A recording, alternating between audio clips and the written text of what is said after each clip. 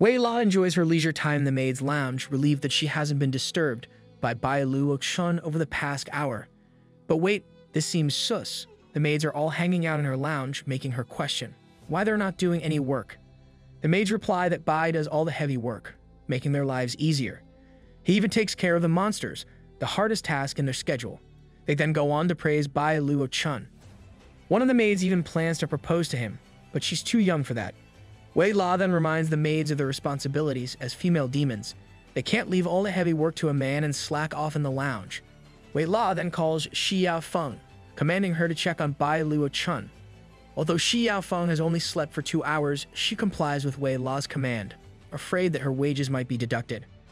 Shi Yao Feng then retrieves a logbook from her melons, which is a nifty storage area if you ask me.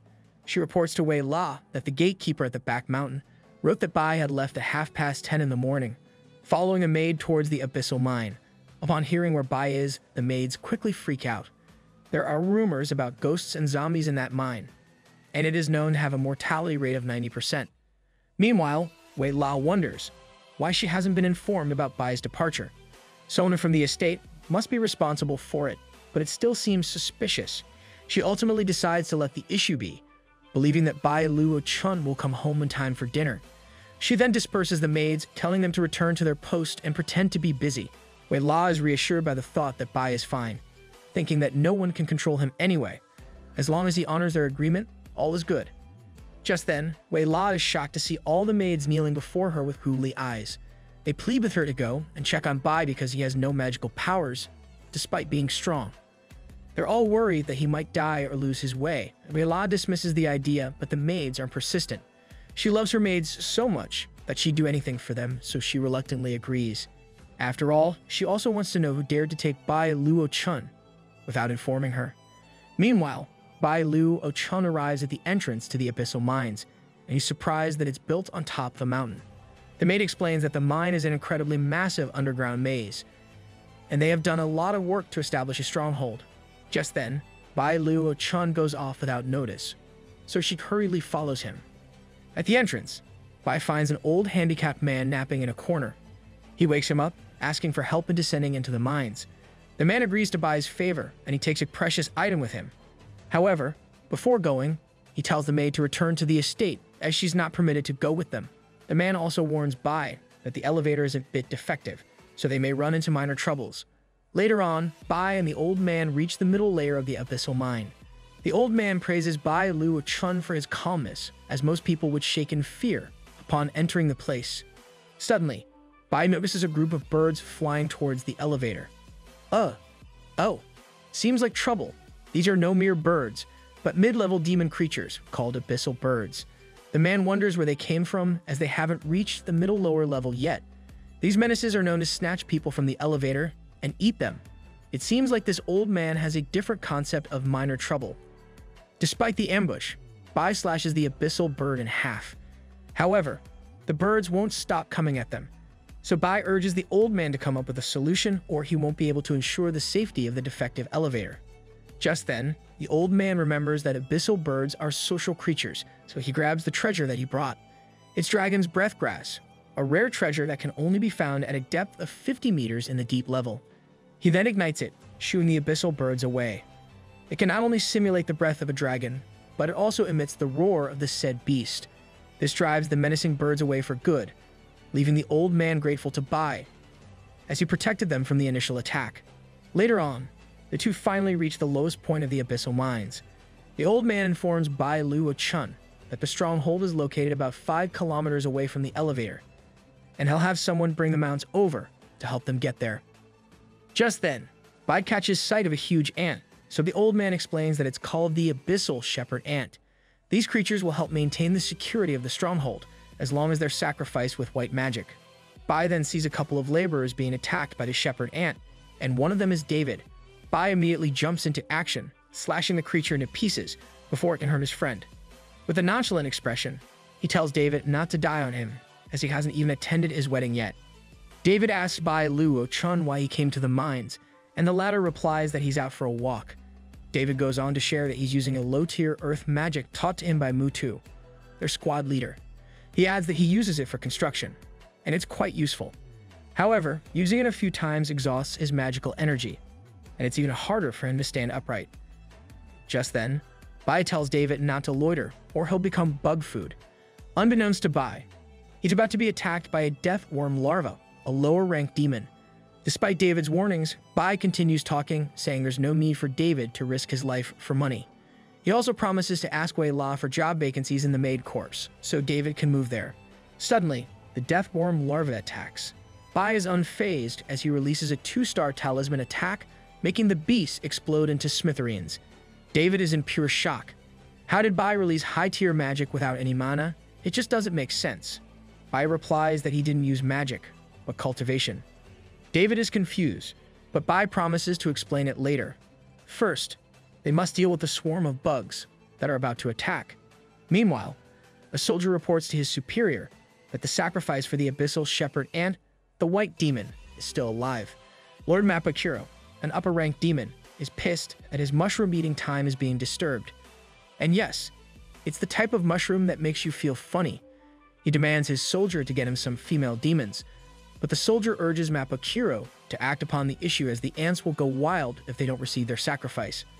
Upon hearing that the sacrifice is still alive, Mapakuro takes matters into his own hands. Meanwhile, Bai fights off the ants while allowing David to practice his cultivation. Despite Bai's attempts to teach him techniques, David struggles to execute them correctly. Suddenly, Mapakuro launches an attack, only to be intercepted by Bai. Infuriated, Mapakuro wonders why these rebels have gone against the contract. Before doing anything else, Bai urges David to practice the technique he was taught earlier. He then faces Mapakuro, asking if he's the boss. Mapakuro is surprised that Bai speaks the local tongue, and he asks if the rebels are at war with the manor. Bai clarifies that he is not a rebel, but a maid. He then informs Mapakuro that David will no longer work in the mines, but will join the servant ranks. Any inquiries or objections from Mapakuro should be directed to Wei La. Upon hearing that Bai works for Wei La, Mapakuro figures out why he's rude and assertive. Consequently, Mapakuro offers David the option to resign from his job, but with a grim condition, leaving his head behind. Doesn't seem like much of a choice, is it? Mapakuro suddenly launches an attack. Meanwhile, Bai is confused as to why this demon has to act so violently, when it's just about a laborer wanting to quit a job. Isn't this guy afraid of Wei La? Mapakuro replies that no one can leave just because they want to, and he's not afraid of Wei La at all. In fact, he challenges Bai Luo Chun to summon that woman, right that very moment. While he's blabbing all these, Mapakuro keeps eating his mushrooms. I guess we can credit all his confidence to something. Bai is amazed that this brute isn't afraid of Wei La. Even someone as powerful as Bai can't take her down.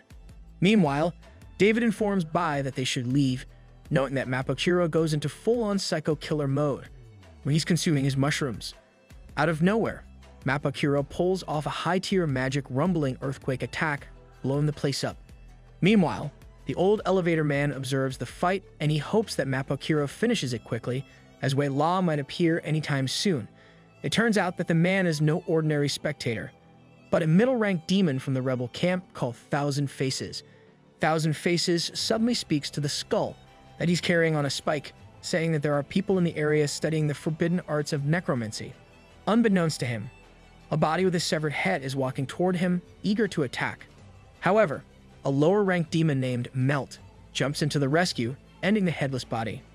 Melt reprimands Thousand Faces, criticizing him for speaking to the skull when he should be working. The old man replies that he can only talk about certain matters to the dead, and he has already finished his work. Melt asks if the target is reliable, and Thousand Faces replies that it depends on who wins.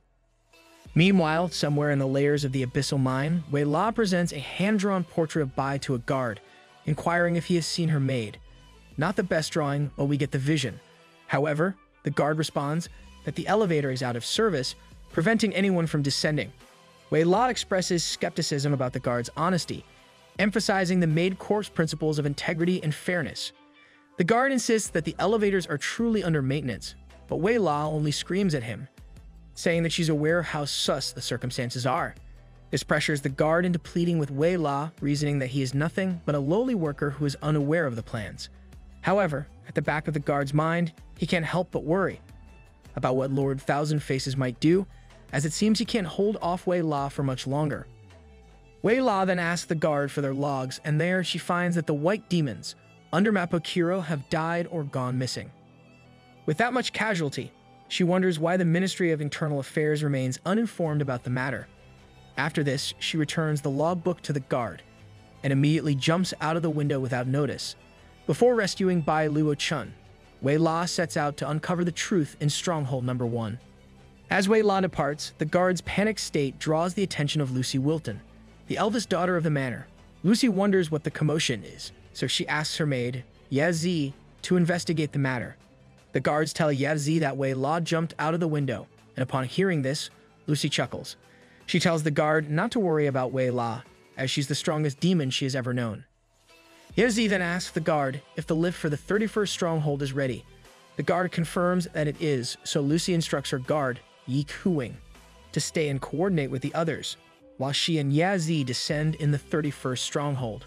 Meanwhile, Mapokiro is all tied up and is dragged by Bai Luo Chun. Bai wonders how they should terminate David's employment certificate, and David replies that they only need the employer's demon power. They simply have to put a little blood on the certificate, and this will do the trick. As the two approach the gate, David tells the guards to open the entrance and call for medical aid for the injured Mapokiro. Unbeknownst to the two, those aren't mere guards, but Melt and Thousand Faces. Melt asks what they should do, and Thousand Faces instructs her to proceed with their plan. Out of nowhere, Melt uses her powers to kill Mapokiro, melting his head in the process. David screams at Bai that Mapokiro is dead, but Bai tells him to relax and listen to what the two have to say. Thousand Faces suddenly descends to meet Bai, saying that he left too early and that they didn't even have time to get to know each other. Bai merely rolls his eyes, asking why Thousand Faces had to kill someone, instead of just opening the doors. This old man's meet and greet doesn't seem too conventional. Thousand Faces replies that there is no need to open the door, because apart from Mapokiro and the four of them, there isn't anyone else in the vicinity. David is puzzled as his colleagues are just around. Thousand Faces explains that those poor white demons are assigned elsewhere, so he doesn't need to worry. He adds that their organization kills evil people and black demons who have done bad deeds, and they would never kill innocent people. It so happens that Mapokiro was both an evil and a black demon, so it's kind of a double dead situation. Formed approximately a decade ago, the resistance emerged in response to the Empire's oppressive tactics. The Marshal of the Imperial Guards spearheaded a campaign against the cultivators, intending to free all white demons and overthrow the Empire.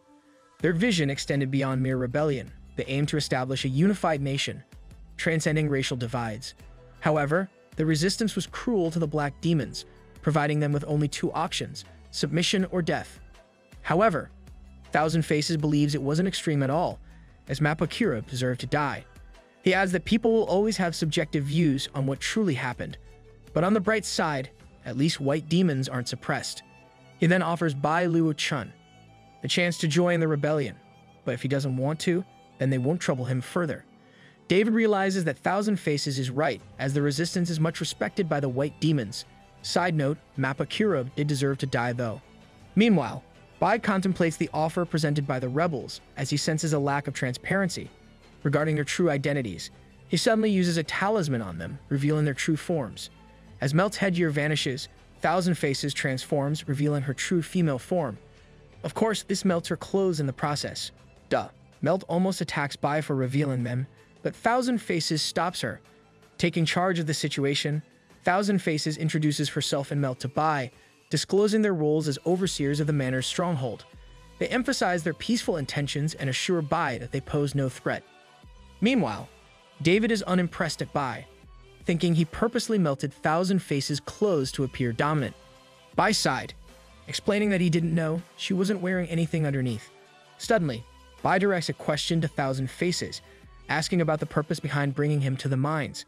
Thousand Faces explains that she wanted to witness firsthand the extent of Bai's powers, having heard much about him from the maid corps. Additionally, she mentions another undisclosed investigation, which is the reason why they didn't open the gates. Thousand Faces then commands Melt to proceed with their plans. Surprisingly, those they previously eliminated within the stronghold have returned as undead. So we're doing a Resident Evil arc now, Initially, they suspected someone was using white demons for necromantic experiments, but isn't as simple as that. Normally, decapitating zombie demons break the link between their demonic core and brain, killing them. However, these new zombies are resilient, they refuse to stay dead, and show heightened aggression towards the living.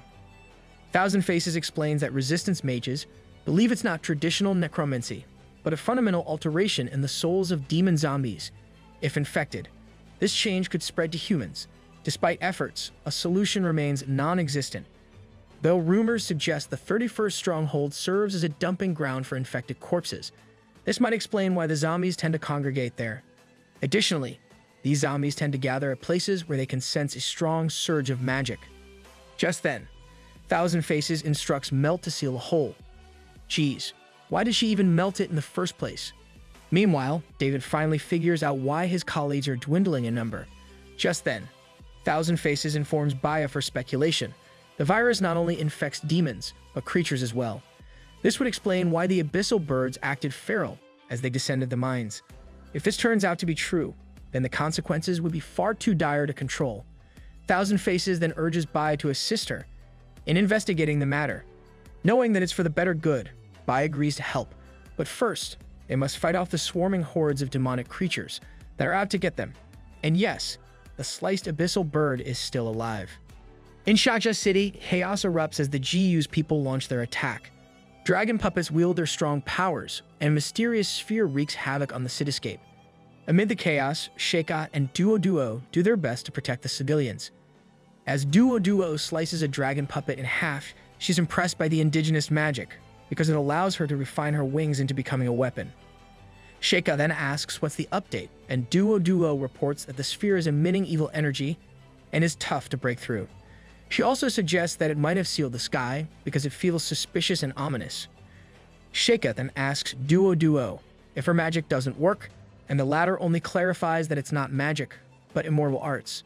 Duo Duo can't help but think how easy the situation would be if Bai Luo Chun were here. He can easily take down the GU's people and destroy their country at the same time. However, Duo Duo suddenly worries that Sheikah might perceive Bai Luo Chun as evil, so she clarifies that he's all for the better good. Sheikah then wonders if Bai can destroy the creatures before them. This prompts Duo Duo to gaze into the sky. She sees the Empire's Air Force, the Griffin Corps, who are bringing with them a Type B-1 Hell missile. Sheikah can't help but scoff at the Empire's attempt to help, as she knows they're siding with the GU's people despite acting like the mediators of the war. Sheikah is furious, stating that those righteous men are the true monsters. Realizing that Sheikah is getting consumed by her anger, Duo Duo reminds her that they came to the area to gather resources. They aren't ready for large-scale conflicts, and she didn't even bring enough talismans. However, Sheikah reassures her that she's taking responsibility for the mission, and she won't let anything happen to her. Out of nowhere, Sheikah emits a strong halo, making her burst into the heavens at a high speed. The sheer force of her ascension sends Duo Duo hurtling backward, and she's beyond worried about what Sheikah might do. True enough, Duo Duo's guess was accurate. The sky is indeed a trap, and it zaps Sheikah into a crisp. However, Sheikah uses an ancient spell that destroys the trap, making it erupt in the process. The sphere also gets destroyed, revealing a talisman within its core. Meanwhile, Sheikah, in all her upgraded glory, emerges victorious against the GU's people's evil sphere. However, a griffin suddenly attacks her, but she counters the attack with her sword. Unfortunately, she also slashes the bomb that the griffin was carrying, resulting in a massive explosion. This sends Sheikah plummeting from the sky, prompting Duo Duo to catch her from falling to her death. Duo Duo immediately uses a life-saving talisman, despite Sheikah's protest. However, her injuries are far too much to bear, so Sheikah falls unconscious. Later on, she wakes up in her underground base, and she receives a ton of yapping from Duo Duo for fainting. Sheikah apologizes for the inconvenience she has caused. She reasons that she has overused her powers, and if it weren't for Duo Duo, she would have died from the crash. She then thanks Duo Duo for bringing back many resources and because of that, she has saved so many people. Duo Duo replies that she's happy to help, as Bai Luo Chun has taught her to do good deeds to pay off her sins. However, if Sheikah truly wants to repay her, Duo Duo would appreciate it if she taught her the technique that upgraded her physique. Sheikah suddenly gets frantic, declaring that she will do anything, but teach her that. Geez, chill, woman. Duo Duo doesn't press the issue further and she gently encourages Sheikah to rest. As she exits the room, she gets greeted by Aisha, who is gifting her a laurel wreath made by him and the other kids. Assuming it's a gesture for Sheikah, Duo Duo tells Aisha that she is still resting. However, Aisha clarifies that it's actually for her. Confused, Duo Duo asks why, and Aisha's response shocks her. The community believes Sheikah will soon ascend to heaven, and she will be the new Lady Angel. Say what? Duo Duo didn't sign up for this. Day after the attack, Duo Duo breaks into an underground vicinity, eager to find the inheritance of angels. She walks into a hall filled with giant statues of the angels that came before Sheikah, and she can't help but feel uneasy. Aisha's words echo in her mind, reminding her of the impending ceremony for Sheikah, scheduled in just three days' time. The weight of expectation rests heavily on Duo Duo's shoulders, as the community eagerly anticipates her assuming leadership as the angelic figure. As Duo Duo recalls, Aisha told her that every Lord Angel will sacrifice their body to the Holy Spirit flame when they turn 17. This sacrificial act is believed to bestow blessings upon Shaja, allowing the departing angel to ascend to heavenly service. The successor, chosen by divine will, inherits the celestial powers from the ashes destined to become the next Lord Angel. Aisha can't help but feel hopeful while telling this story as he is eager to have the chance to become an angel like Sheikah. I don't know about you, but this sounds like some crazy cult shenanigan. Just then, Duo Duo runs into a book locked by huge chains. She uses her powers to melt the chains, hoping the book states an alternative to sacrificing her friend. To her surprise, the book contains mystical arts of divination. Days later, Sheikah fights off a dragon puppet. She gets swallowed by the beast, but she uses her powers to make its head explode. Sheikah then rushes to Duo Duo, and she catches her with a tied-up puppeteer. Sheikah reports that she has taken care of the dragon puppets, while Duo Duo informs her that she has done her tasks too, and even captured a puppeteer. Sheikah then hands some food to Duo Duo, apologizing that they can't have a warm meal because they can't use fire.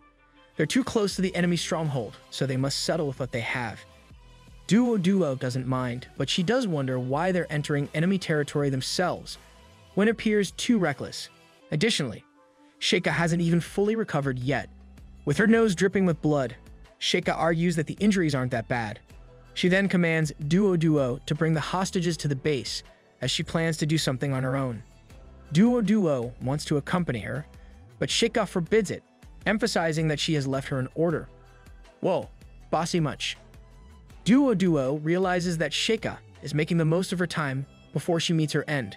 With this, Duo Duo is determined to put her plans to work. She holds a talisman in her hand, unsure whether it will work. Just then, the puppeteer screams at Duo Duo, telling her she doesn't know what she's doing. This man is quite the yapper. He just bit through Mi Meng's silk. The puppeteer adds that Duo Duo's plan will level the entire place into flat ground.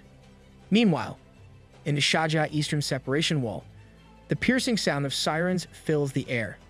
Meanwhile, one of the guards notices a bunch of purple feathers falling from the sky. Impossible. Did someone from Shaja infiltrate the place? Well, you know it, because Sheikah is ready to kick some GU's loser. She suddenly appears in front of the guard, killing him before he can react. As the realization dawns upon the other guards that they have been infiltrated, Sheikah finds herself surrounded by a group of GU's guards, leaving her cornered. Accusations of terrorism are hurled at her, and she is ordered to remain where she is. Fuming with anger, Sheikah can't comprehend the irony of being labeled a terrorist when it was her people who were invaded. Suddenly, a guard rushes to the commander with alarming news. The 7th Dragon Puppet Division has been decimated, with not a single puppeteer spared. Furthermore, all the high-ranking commanders stationed at the advanced party camp have met the same fate at the hands of Sheikah. Yes, Queen. Slay, literally. The commander's fury ignites at the devastating report. He wonders what this Shaja trash is about to do.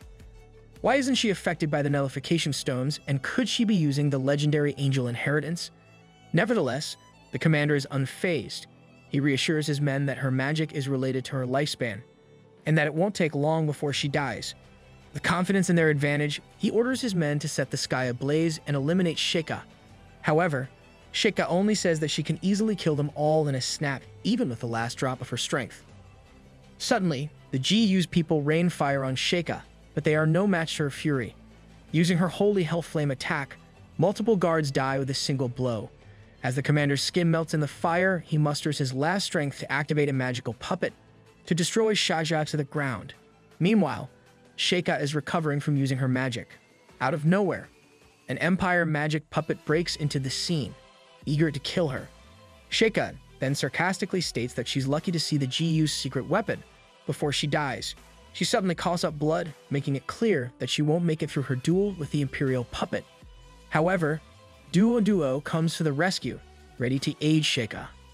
Sheikah is taken aback by the sudden appearance of Duo Duo, but before she can react, her condition worsens. As the angelic power within her begins to surge outward, Sheikah can feel her life slipping away. With each passing moment, of course, her clothes are dissolving in the process. It's probably protocol. Just as Sheikah is about to be attacked by the Imperial puppet, Duo Duo intervenes using her silk rope to pull her out of harm's way. Desperate to save Sheikah, Duo Duo attempts to feed her with one of Mimung's cocoons, but she's too weak to even swallow it. Out of nowhere, the puppet attacks again, but Duo Duo manages to use her floating shadow immortal magic to escape. Left with no choice, Duo Duo chews on the cocoon and spits it in Sheikah's mouth. Okay, but when did this become Yuri coded? It turns out that Duo Duo had devised this plan three days prior. When she was searching for the secret of the angel inheritance, Duo Duo discovered that beings in the demon world possess eight nodes that regulate the flow of magic. Unleashing these nodes enhances magical power, but places an immense burden on the body. This revelation suggests that the angel selection process seeks people who are capable of bearing this immense power. However, once the cycle of magic energy ceases, so too does the wielder's life. Realizing that Sheikah's death is inevitable, Duo Duo refuses to accept defeat. She recalls the teachings from Mammon, recognizing similarities between her mystical arts technique and the secret of the angels, both of which involve the manipulation of the eight gates. If Duo Duo can harness the workings of heaven and earth from the external world and connect them to the body's internal processes, she may be able to restart Sheikah's energy circulation. With newfound hope, Duo Duo is determined to embark on a three-day mission to secure the necessary elements for her plan. Meanwhile, Duo Duo is overjoyed that her plan worked. The mystical arts divination didn't fail her. However, the Imperial puppet suddenly attacks, releasing a strong blow that sends the walls crumbling. Duo Duo manages to dodge it, all while carrying Sheikah. However, she's beyond puzzled as she notices that the puppet is using talismans. How could that have appeared in the demon world? Duo Duo then realizes that she's been severely injured from the last attack, making her incapable of using a single brain cell. Left with no choice, she uses a silkworm cocoon for herself and wonders if she should summon Bai Luo Chun's puppet, as her energy is almost dried up. Before she can do so, the Imperial puppet lunges for a final blow, prompting Duo Duo to desperately cry out Sheikah's name. Just then, the place illuminates with a strong surge of power. Sheikah's life is restored by the silkworm cocoon, and she promptly comes to Duo Duo's rescue. Overwhelmed with gratitude for Duo Duo's help, Sheikah finds herself imbued with newfound strength. Duo Duo is glad to hear this, and she's proud to say that it's immortal magic taught to her by her senior, Manman. She also tells Sheikah to remember that it's called the mystical art of divination. With her newfound power, Sheikah puts Duo Duo to safety and fights off the Imperial puppet. Finally, some break time for Duo Duo. In a split second, Sheikah speeds towards the puppet and releases a mystical arts attack, amputating the puppet's arm. Sheikah realizes that the overflowing magic that was supposed to kill her has disappeared, and thanks to Duo Duo, she now feels a powerful and gentle strength. Just then, the puppet releases another attack, refusing to surrender. Sheikah spits out two consecutive mystical arts attacks, causing a massive explosion that ultimately kills the Imperial puppet. Finally, she can breathe, as Shaja is now safe. Unexpectedly, Duo Duo approaches Sheikah, offering a lily flower and extending birthday wishes. Grateful for the gesture, Sheikah blushes, aware of the flower's symbolic meaning. Despite Duo Duo's innocence in the matter, Sheikah appreciates the sentiment. Just to state the obvious, in Japan, it's a Yuri thing, where one initiates to do the nasty. It seems like Duo Duo didn't receive the memo, encouraging Sheikah to make a wish. Duo Duo watches as Sheikah hopes for Shaja's prosperity. With their wishes made, the two set off on their journey back to Shaja.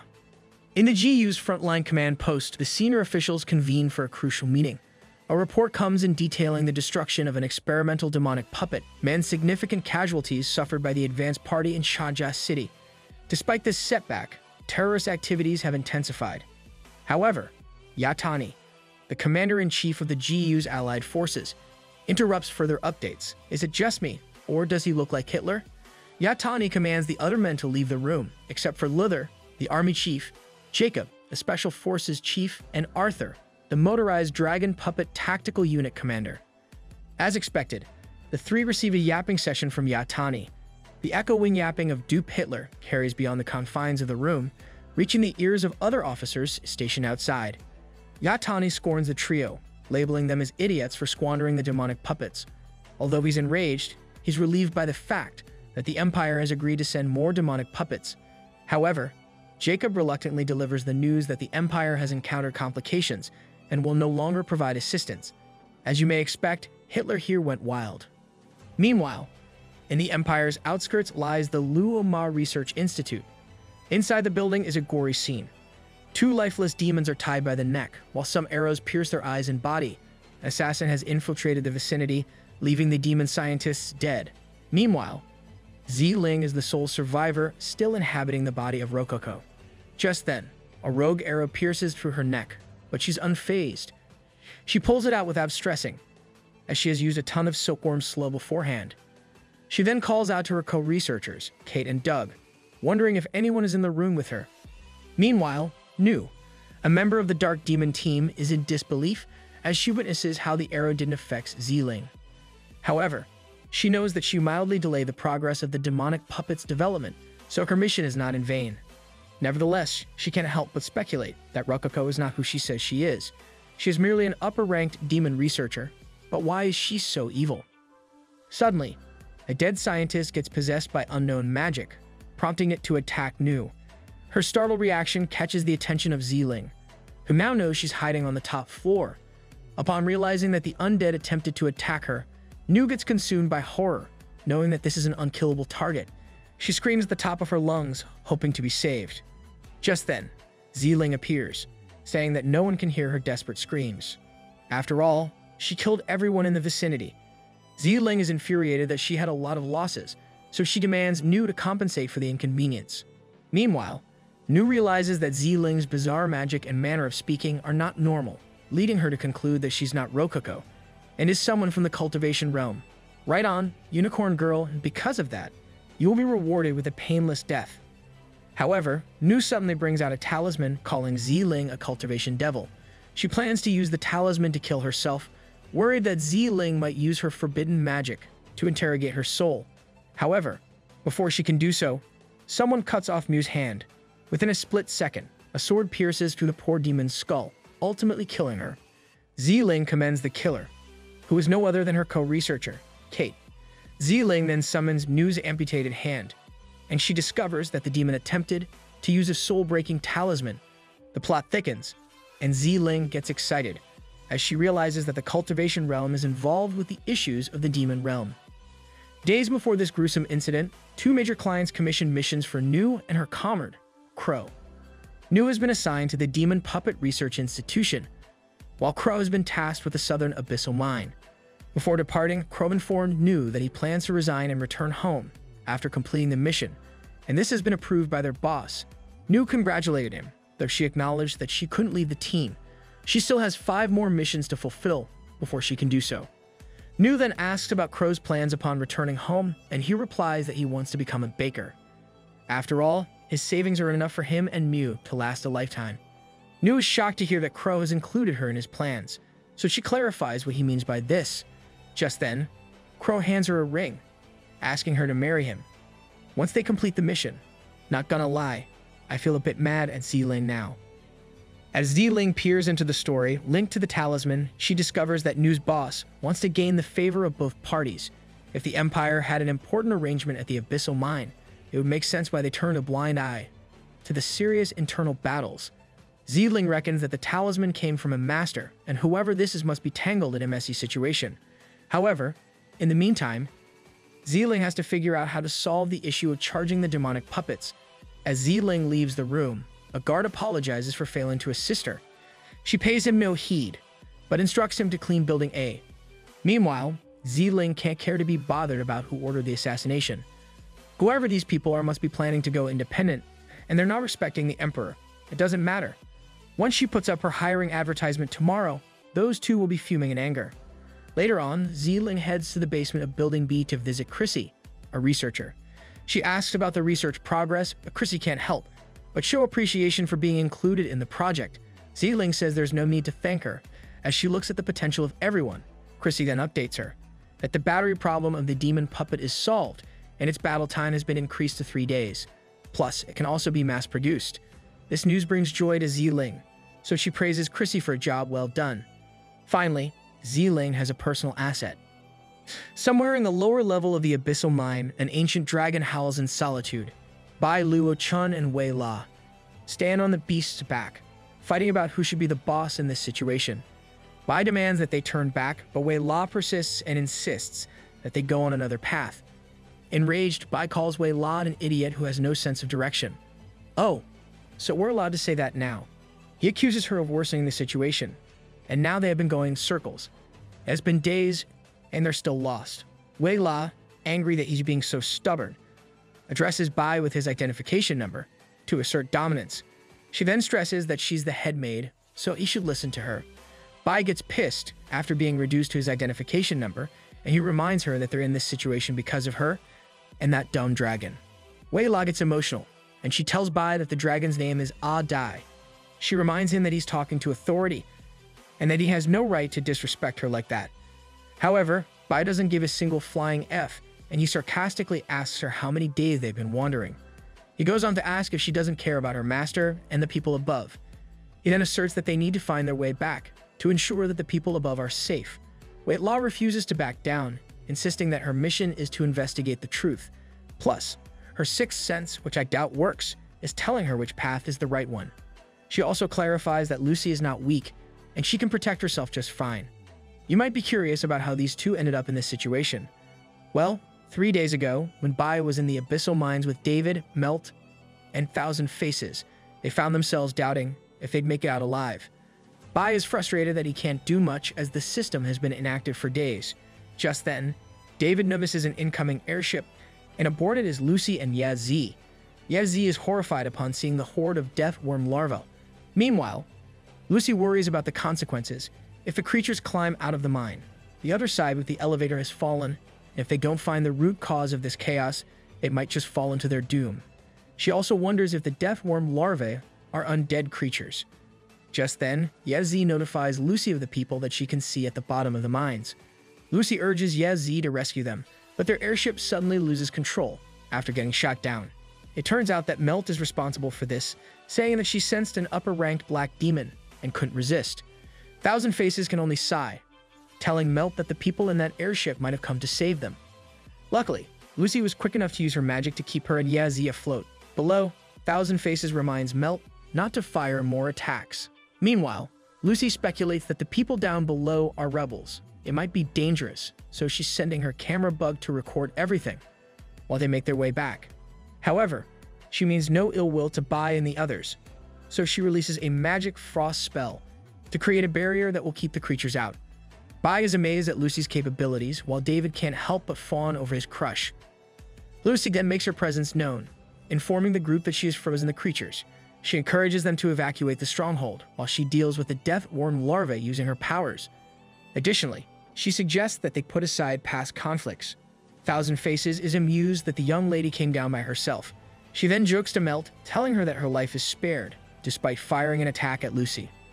Meanwhile, Lucy asks Yazzie to contact Wei La. She can't sustain this magic for long, as the area is too massive. Yazzie replies that Wei La is close by, but she's surprised after realizing that their locations have overlapped. Out of nowhere, Wei La plummets from the sky, punching a colossal dragon into submission. She screams at the giant beast called Ah Dai, claiming it as her pet. That's quite an entrance there, Wei La. Meanwhile, Thousand Faces escapes with Melt using a flying device. She's impressed by the head maid, and she finally figures out why the Lord Duke was disloyal. Hold up, Wei La's a homewrecker? Melt, on the other hand, wonders if there's anyone normal in Wilton Manor. This is the demon realm. Is anything ever normal? Meanwhile, Bai tosses David into the sky, hoping that he'd make it to Lucy and Yazzie. Fortunately, he lands right into their floating sphere, and Lucy even ends up carrying him like a bride. He blushes, and he expresses how thrilled he is to finally see Lucy again. Lucy, on the other hand, doesn't even remember this bloke. Witnessing this stranger appearing out of nowhere, Yazzie screams at David to let go of Lucy. I think it's the other way around, girl. Meanwhile, Bai attempts to escape, completely forgetting that he doesn't have enough spiritual energy to fly. Just then, he notices a drive-in with Wei La. Meanwhile, Wei La gets approached by the camera bug, and she receives praise from Lucy, as they have found the insect's nest because of her. Lucy has an additional task for her, which is to discover the truth about the cause of the undead's resurrection. With this, Lucy leaves the mines with David and Yazzie, while Wei La, Ah Dai, and Bai Luo Chun fall into the lower level of the abyssal mines. Now, the two are stuck together, left with no choice but to collaborate. Wei commands Ah Dai to follow her directions, eager to discover the truth about the undead's resurrection. Meanwhile, Bai Luo Chun commands the system to return his spiritual energy, but to no avail. Wei La wonders why Bai Luo Chun is eager to return to the manor. They have a more prestigious mission at hand, and you should be thankful that he has been considered for it. Uh, she probably just wants to go on a rampage. Bai Luo Chun breaks Wei La's bubble, clarifying that they don't have the same goals. If they can't find the way back within a day, he will venture out on his own. Just then, Wei La grabs Bai by the neck using her tail. Bai is shocked by what he sees.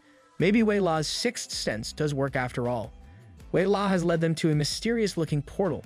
Bai Luo Chun then walks towards it, and he's beyond surprised that prompted the system to activate. Out of nowhere, a beautiful mommy milker with thunder thighs appears, and she's calling Bai darling. The system is worried that Bai doesn't know her, and true enough, our MC is beyond confused. He's more concerned that his virtual system disappeared. Bai, my man, you literally have the better version. However, it turns out that the system is only visible to Bai. Meanwhile, Wei La is pissed at Bai because he seems to be slacking.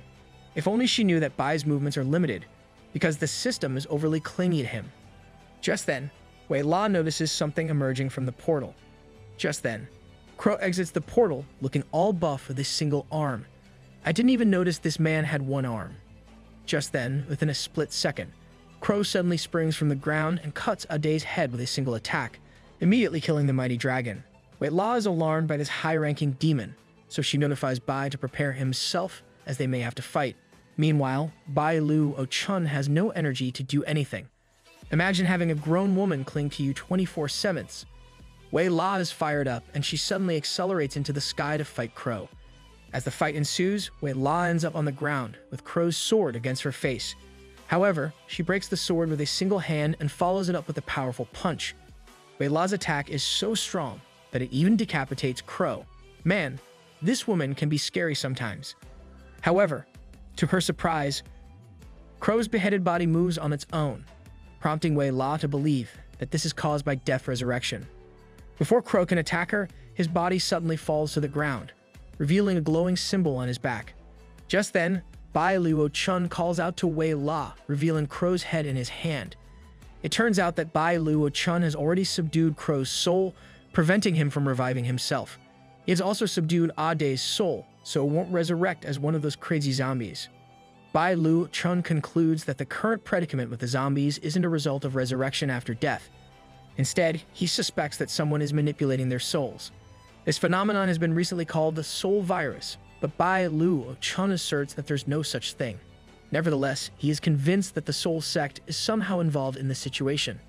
Now, they must adjust their plans and concentrate on uncovering the identity of the person controlling the souls of the undead.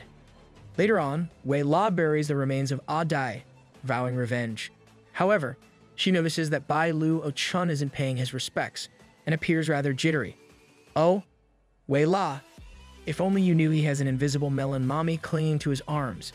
Bai Luo Chun brushes off Wei La's observations and instead urges her to enter the portal quickly. The sooner they resolve the issue, the better. Wei La feels a bit disheartened that he's rushing her, despite her recent loss. However, Bai Luo Chun explains that they need to return soon, or else the maids might become unruly without them. Wei La realizes there's no time to lose, so she quickly changes her mood in a snap. She then urges Bai Luo Chun to join her in beating up the main culprit. Bai Luo Chun, on the other hand, struggles to walk because the system is sticking too close to him. Meanwhile, Lucy, Yazi, and David wander in the upper level of the abyssal mines using an aircraft. David is worried that Bai and Wei La haven't contacted them for a few days, and he's even more concerned about Wei La. He knows Bai Luo Chun can take care of himself, but Wei La is merely a lower ranked demon. Oh, David, you know nothing. With this, Lucy tells him Wei La is an exception to the typical white demons because she's powerful. Lucy adds that her father once told her not to use rankings as a reason to judge people, and David should definitely not judge Wei La of all people. Nobody in the demon realm can even beat her in arm wrestling. Additionally, Lucy reassures David that there is no need to be occupied with Wei La and Bai's safety. What they must prioritize is to prevent the spread of the soul virus. Hearing this lecture, David realizes that Bai Luo Chun and Wei La are a fated match. On top of having great powers, their horns are both short too. David, you're definitely ruining your shot with Lucy. Yazzie calls him out, saying that he can't casually point out a woman's small horn. I guess that's the equivalent of calling someone flat-chested. Huh. Yazzie adds that the weakest one in the group is David, as he hasn't even recovered from his previous injuries. David denies Yazzie's allegations, insisting that he's all good now. He also reminds her not to judge him by his rank, suggesting he's more powerful than she thinks. Just then, Lucy notices a flock of abyssal birds flying towards them. David figures that this would be a great time to showcase the skill that Bai Luo Chun taught him. Lucy might just be impressed. However, Lucy realizes that these are mere abyssal birds, but a much more powerful beast called the Abyssal Winged Dragon. To make matters worse, these beasts are infected by the soul virus. They must have been attracted to the strong surge of powers coming from them. Lucy immediately commands Yazzie to take the airship and escape with David. Yazzie complies, but the stupid David wants to impress Lucy. He offers to take care of the winged dragons, using the cultivation technique that Bai Luo Chun taught him. David cast a blood destruction talisman, killing one of the beasts with one hit. Yazdi is shocked that David had a trick up on his sleeve, but now she wants him to kill the rest. Um, he hasn't exactly prepared for that. Unbeknownst to David, the winged dragon king is right behind him, ready to gobble his sorry face. Yazdi screams at him to dodge, while Lucy focuses on harnessing her magic for an attack. With a single command, Lucy causes the beast's guts to explode, staving David. After killing the king, she goes on to finish off the other beast with a powerful spell. With the worst being over, Lucy gives David a pat on the head, reminding him not to act so recklessly again. Well, that's embarrassing. Meanwhile, Bai Luo Chun and Wei La enter the portal and find themselves in the Demon Venerable's secret realm. Bai Luo Chun is surprised to see the manor's asset, but Wei La clarifies that the Duke has never mentioned that this place existed in the depths of the mines. She adds that the words don't seem to originate from the demon realm. Bai can read it, and he finds that the demon venerable is sealed in the area. Impressed that Bai Luo Chun can read the words, Wei La presses her cheek against his. Why is everyone being so touchy? He adds that those are the words of his hometown, and it's a very remote area, so it makes sense if she doesn't know how to read them. Just then, Bai figures out the truth about the place.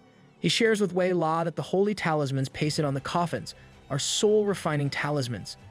The quality is quite high, yet there are so many. This means that those resurrected corpses have been eroded by these talismans, and they have become flesh puppets that are only capable of stealing living souls. From Bai Luo Chun's understanding, there are only four divine talisman masters in the cultivation realm who could potentially be responsible. Given his familiarity with the three of them, it seems unlikely that they would venture into the demon realm. Wei La proposes that the fourth master might be the culprit, but Bai Luo Chun dismisses the notion. He argues that this master is known for his righteousness and gentleness. Wei La wonders if the fourth master and Bai Luo Chun are close, as he seems to know him personally. Bai nervously replies that the master is famous because of his kindness. He quickly changes the topic, telling Wei La the solution to their problem. First, they must destroy the tomb and tear off the lid of the coffin. Seems easy, right? Well, not really. A giant hand suddenly clamps down on Wei La's wrist.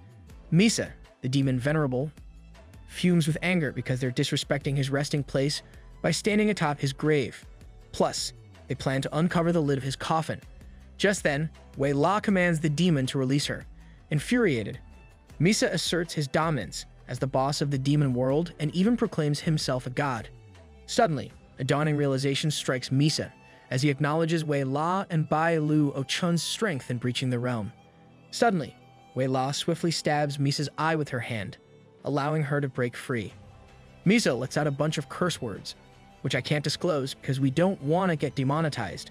Wei La suddenly speaks in the demon's native tongue, telling him he's rude and uneducated for grabbing people's hands when he hasn't asked for permission. Misa is furious that she's talking back to him, and because of this, he won't allow her to leave the place alive. The powerful demon wants to fight Wei La one on one. Misa suddenly releases an Extinction Ultimate Black Dragon Wave attack, but Wei La counters with a clay pot punch. This sends the demon flying into the distance, his guts spilling out of his belly. Witnessing this match, Bai Luo Chun finally realizes why that dragon followed her despite being affected by the soul refining talisman. Her raw power is just beyond explanation. With Misa dead, Wei La urges Bai Luo Chun to help her destroy the demon's grave. Bai tells her that she already did, and all that's left to do is to open it and burn everything inside. However, a tentacled shadow suddenly emerges from the grave, grabbing Bai Luo Chun. Wei La runs to save him, but she's held back by Misa, who has revived himself. The demon is excited to meet a powerful demon like her, and he wants to test how long she can last. Meanwhile, Bai Luo Chun gets greeted by the tentacled shadow, telling him he's the first to enter the realm in a very long time. While listening, Bai confirms that the source of the soul is before him. It seems like Wei La has to fend for herself for a bit. Just then, Bai Luo Chun tells the shadow that there is no soul-related magic in the demon world. For this entity to exist in the form of a soul, there must be someone behind it, Suddenly, a demon emerges from the shadows, praising Bai for his knowledge about souls.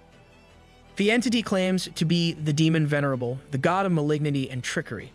He claims that the demon fighting Wei La is simply a divine body prepared by the Soul Sect for him to extend his life. He also claims that his caliber is quite high. However, Bai Luo Chun notices that the demon is kneeling, which leads him to doubt just how powerful he is. The demon Venerable replies that the Soul Sect will be able to fully resurrect him in a short bit, but in the meantime, he wants Bai Luo Chun to help him. And if he finally merges with a body, he will grant Bai with all of his wishes. Meanwhile, Bai wonders if this is the demon who brought destruction to Yun Huang. It sure looks like half-cooked meat. Just then, Bai Luo Chun realizes that the body and soul fusion is what Mammon needs, leading him to think twice about the offer. The demon Venerable spits out some recommendations, of what Bai might like. Does he want authority, land, female demons, or male ones? He won't judge with the latter. When Bai Luo Chun doesn't give a response, the demon suggests that they conquer the world and split evenly at 50-50. He even cranks it up to 70 to 30. Despite the demon's pressure, Bai remains calm, telling the demon Venerable that he's disturbing his thoughts. If Bai Luo Chun assesses himself, his spiritual energy is quite dry, and his system is inconsistent. Even if he does summon the system, all she will ever do is stick to her like a leech.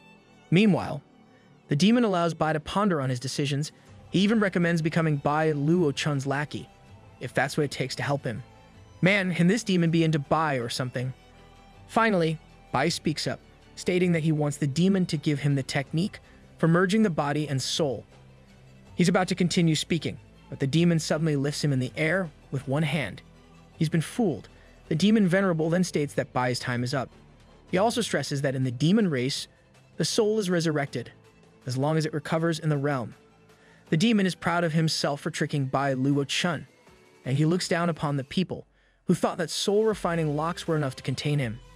After he kills Bai Luo Chun, he will also kill that idiot from the Soul Sect and everyone else from the cultivation world. However, before the demon Venerable can kill Bai Luo Chun, someone suddenly slashes his arm. It's the system, and she has come to save her darling master. The system asks Bai if he's alright, and he replies that he is. However, he blames the system for everything that is happening. If she only returned his spiritual energy, everything would have been easier. However, the system tells them that there are some things that he has to remember on his own. Before she can utter another word, the demon Venerable abruptly bursts into laughter, claiming to recall something. He appears to recognize someone, his words are nonsensical, amidst the demon's manic laughter. the system swiftly terminates him with a single touch. The demon doesn't get the chance to finish his sentence, but the system hints that he is about to mention Heaven's Tao. Suddenly, Bai Luo Chun collapses. The system merely looks at him, ignoring the notifications that the system upgrade has been completed. In Shaja City, a colossal imperial puppet wreaks havoc on the land. Duo Duo valiantly battles against it, but she sustains injuries in the process. Unfortunately, the demon puppets are growing increasingly powerful. Suddenly, a powerful laser beam strikes Duo Duo, inflicting fatal wounds on her. The GU soldier, using a dragon puppet to launch the attack, rejoices that he successfully hit his target. He proudly informs his comrades that their new dragon puppet team has achieved a significant victory. However, his excitement fades when he notices his fellow soldiers' lack of response. To his shock, they are under the control of a green-hued aura, appearing lifeless and devoid of will. Meanwhile, Sheikah rescues Duo Duo, and she immediately asks if she's alright. Duo Duo struggles to breathe and she tells Sheikah that she barely survived that attack. Because of this, Sheikah suggests that she return to the castle. Duo Duo lacks the mystical arts needed to restore her strength, and the toll of the battle is proving too heavy for her to bear. However, Duo Duo refuses. She reassures Sheikah not to worry, as she still has a few tricks up her sleeve. Just then, Duo Duo accelerates into the sky, leaving Sheikah with no choice but to accompany her. However, upon seeing the scene below, they quickly realize that the GU's people have been wiped out. A green aura seems to surround the soldiers, including her dragon puppet. Duo Duo anticipates a bigger dilemma. Meanwhile, Sheikah wonders what the problem is, so Duo Duo breaks it to her that these people didn't die from the battle. Their souls were sucked out, and now they are under control. Duo Duo quickly realizes that someone is using the Battle of the Jiyus and Shaja people as a means to reap souls. Just then, streaks of green light swiftly ascend to the sky, almost hitting Duo Duo and Sheikah. Before Duo Duo's eyes, the truth becomes unmistakable. This is the Soul Sect's secret magical arts. Suddenly, they spot a massive aircraft in the skies, under the control of a mysterious group of cultivators from the Soul Sect. In unison, they recite a chant that seals a demon, preventing it from entering the cycle of reincarnation. Just then, the leader of the Soul Sect cultivators orders his comrades to summon the sacrificial altar. The ground splits open, unveiling an ominous demon plant lurking beneath. With the combined power of the cultivators, a Sumatero flower comes to life. Upon spotting the flower, Duo Duo recalls seeing it in a culinary book from the Immortal Cultivation World, authored by Bai Luo Chun. She realizes that the Soul Sect cultivators are planning to summon something evil. Because of this, Duo Duo urges Sheikah to merge their powers to destroy the flower. Sheikah agrees, but before they can act, a pair of demon puppets soar into the sky to attack them. As the demon puppets rain attacks on Duo Duo and Sheikah, the leader of the Soul Sect is amused that some random rats got mixed into his plans. Meanwhile, the demon puppets persist in their attack, so Duo Duo instructs Sheikah to make the puppets explode, using the mystical arts. Out of nowhere, Sheikah unleashes an Eight Gates divination attack, completely annihilating the demon puppets. Duo Duo praises Sheikah for mastering this powerful skill. However, he quickly warns Sheikah that they should brace themselves for potential challenges ahead.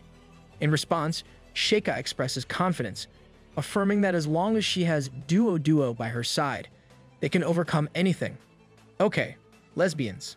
Meanwhile, a battleship hovers nearby, bearing witness to the GU's people's destruction of Shaja. On board are David, Yazi, and Ziling. David can't help but seethe with anger towards the Empire, feeling betrayed by the numerous secrets they've kept from their citizens. They were unaware that the mines were actually supplying energy to the demon puppets. Meanwhile, Yazi updates Lucy that there's still no news about Bai Luo Chun and Wei La. Lucy becomes increasingly worried upon hearing this news, and her distress deepens as she realizes how much her father has concealed from her. All this time, she believed that mining the Abyss magic crystals was meant to address the energy crisis and improve the lives of the commoners, but it was all an act. Just then, someone approaches Lucy, and it's no other than Ziling, asking if the lady is satisfied with the power of the demon puppets. Ziling shares that since the demon puppets joined the battle, the city of Shaja was easily destroyed. Two of the infamous angels are left to resist, and now, victory is within their grasp. With a nonchalant expression, Lucy asks Ziling if she's the person in charge. The latter confirms, adding that she created the demon puppets herself. Knowing that Wilton Manor is the main source of funds behind the demon puppet plan, Ziling ensures that she performs well in front of the financial banker. She then attempts to shake hands with Lucy, introducing herself as senior researcher, Rococo. Lucy extends her hand, saying that she'll be sure to remember Rococo, the creator of the massacre robots. Girl, Shade. Ziling doesn't know what the lady's implying, but she remains calm. Although Lucy is strongly gripping her hand, just be thankful it's your hand and not your neck. Meanwhile, a strong force descends from the sky, narrowly missing the Soul Sect and their battleship. In the battleground, Duo Duo continues her relentless struggle against a demon puppet. By sheer coincidence, the powerful force lands directly on the puppet, sparing Duo Duo from additional work. Despite her immediate relief, she remains vigilant and wary.